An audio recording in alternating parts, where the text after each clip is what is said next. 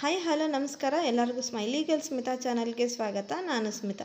ಇವತ್ತು ನಾನು ಆರೋಗ್ಯಕರವಾದಂತಹ ಮತ್ತು ದೇಹಕ್ಕೆ ತಂಪಾಗಿರುವಂತಹ ಹೆಸರು ಬೇಳೆಯಿಂದ ಲಡ್ಡು ಹೇಗೆ ಮಾಡೋದು ಅಥವಾ ಲಾಡು ಹೇಗೆ ಮಾಡೋದು ಅನ್ನೋದನ್ನು ತೋರಿಸ್ತಾ ಇದ್ದೀನಿ.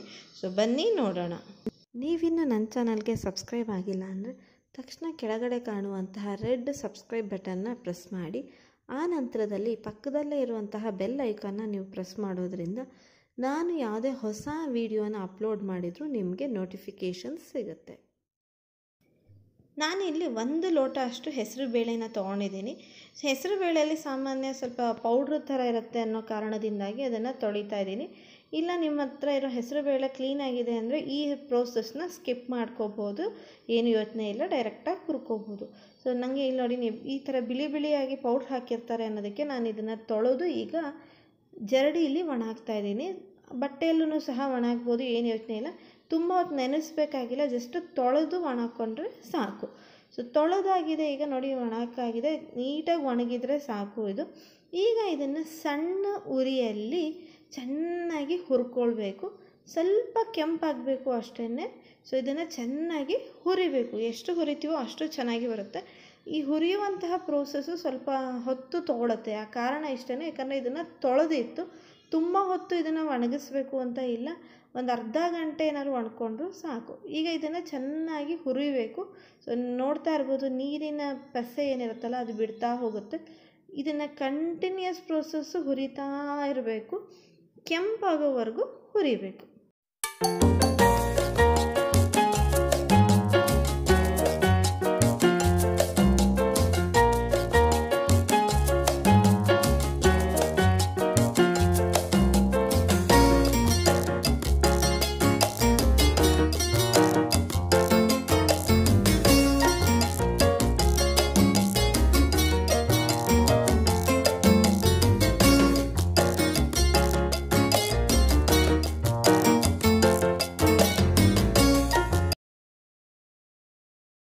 ಇಷ್ಟು ಕೆಂಪಾಗಿ ಹುರ್ಕೊಂಡ್ರೆ ಸಾಕು. ಈಗ ಇದನ್ನು ಫ್ಲೇಮ್ನ ಆಫ್ ಮಾಡಿ ಬಿಟ್ಬಿಡಬೇಕು.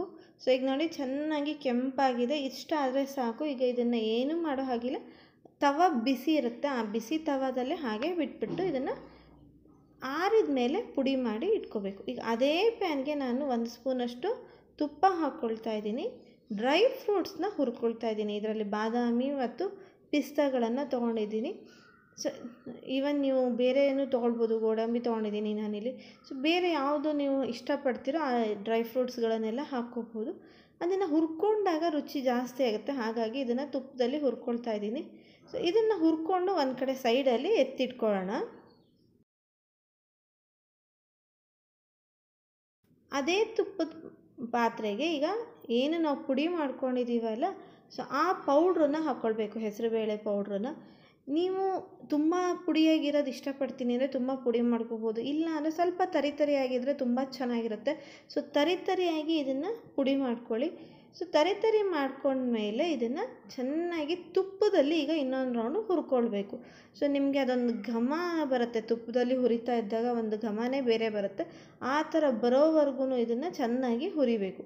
ಇಲ್ಲಿ ನಾನು ಒಂದು ಕಪ್ ಹೆಸರು ಬೇಳೆ ಅಂತ ನಾನು ತೊಗೊಂಡಿರೋದ್ರಿಂದ, ಒಂದು ಕಪ್ ಹೆಸರು ಬೇಳೆಗೆ ಕಾಲು ಕಪ್ಗಿಂತನೂ ಕಮ್ಮಿ ತುಪ್ಪನ ತೊಗೊಂಡಿದ್ದೀನಿ. ಒಂದು ಕೊನೆಯ ಪಕ್ಷನೂ ಒಂದು ಐದು, ಆರು ಸ್ಪೂನಷ್ಟು ತುಪ್ಪ ನಿಮಗೆ ಬೇಕಾಗುತ್ತೆ ಅಷ್ಟೇ ತುಂಬ ತುಪ್ಪ ಹಾಕೋಕ್ಕೆ ಹೋಗಬೇಡಿ.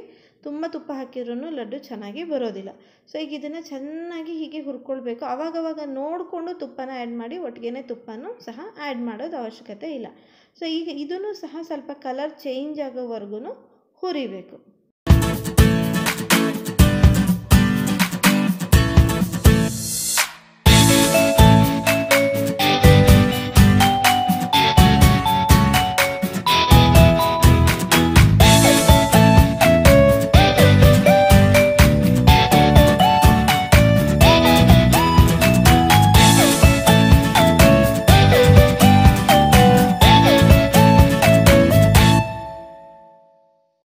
ಡ್ರೈ ಫ್ರೂಟ್ಸ್ ಏನು ಹುರಿದಿಟ್ಕೊಂಡಿದ್ದೀವಲ್ಲ, ಅದನ್ನು ಸಹ ಮಿಕ್ಸ್ ಮಾಡ್ಕೊಂಡಿದ್ದೀನಿ.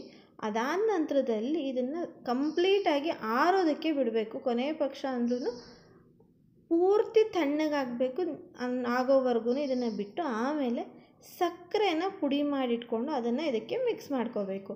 ಸೊ ಸಕ್ಕರೆ ಪುಡಿ ಹಾಕಬೇಕಾದ್ರೆ ನಿಮ್ಮ ರುಚಿಗೆ ತಕ್ಕಷ್ಟು ಹಾಕಿ, ತೀರಾ ಸಕ್ಕರೆ ಪುಡಿ ಅವಶ್ಯಕತೆ ಇದಕ್ಕೆ ಬರೋದಿಲ್ಲ. ಸೊ ನಾನಿಲ್ಲಿ ಹಾಕ್ತಾ ಇರೋಂಥದ್ದು ಒಂದು ಕಪ್ಗೆ ಅರ್ಧ ಕಪ್ಪಷ್ಟು ಸಕ್ಕರೆ ಪುಡಿನ ಹಾಕ್ಕೊಂಡಿದ್ದೀನಿ ಇಷ್ಟು ನನಗೆ ಸಾಕು ಅಂತ ಅನಿಸುತ್ತೆ. ನೀವು ಇನ್ನೂ ಸಕ್ಕರೆ ಸಿಹಿ ಬೇಕು ಅನ್ನೋರು ನೋಡಿಕೊಂಡು ಇದಕ್ಕೆ ಸಕ್ಕರೆ ಪುಡಿನ ಹಾಕೋಬೋದು.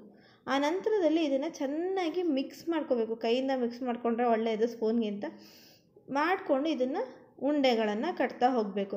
ಸೊ ನಿಮಗೆ ಎಷ್ಟು ದೊಡ್ಡ ಉಂಡೆಗಳು ಬೇಕೋ ಅಷ್ಟು ದೊಡ್ಡ ಉಂಡೆಗಳನ್ನು ನೀವು ಇಲ್ಲಿ ಕಟ್ತಾ ಹೋಗ್ಬೋದು. ಸೊ ನೋಡಿ ಎಷ್ಟು ಚೆನ್ನಾಗಿ ಉಂಡೆ ಬರುತ್ತೆ ಅಂದರೆ ಖುಷಿ ಆಗುತ್ತೆ ಉಂಡೆ ನೋಡೋದಕ್ಕೇ ಸೊ ಈ ಥರ ಉಂಡೆಗಳನ್ನು ನೀವು ಎಷ್ಟು ಬೇಕೋ ಅಷ್ಟು ನೋಡಿಕೊಂಡು ಮಾಡ್ಕೊಳ್ಬಹುದು. ನಾನು ಮಾಡಿದಂತಹ ಇದರಲ್ಲಿ ನನಗೆ ಕರೆಕ್ಟಾಗಿ ಏಳು ಉಂಡೆ ಆಯಿತು ಅಷ್ಟೇ ಸೊ ತುಂಬ ಚೆನ್ನಾಗಿತ್ತು. ಮಾಡಿ ನೋಡಿ ಹೇಗೆ ಬಂತು ಅನ್ನೋದನ್ನು ಕಮೆಂಟ್ ಮಾಡಿ ತಿಳಿಸೋದನ್ನು ಮರಿಬೇಡಿ. ಡಿಸ್ಕ್ರಿಪ್ಷನ್ ಬಾಕ್ಸಲ್ಲಿ ರೆಸಿಪಿ ಕಂಪ್ಲೀಟಾಗಿ ಕೊಟ್ಟಿದ್ದೀನಿ. ಚೆಕ್ ಮಾಡಿ.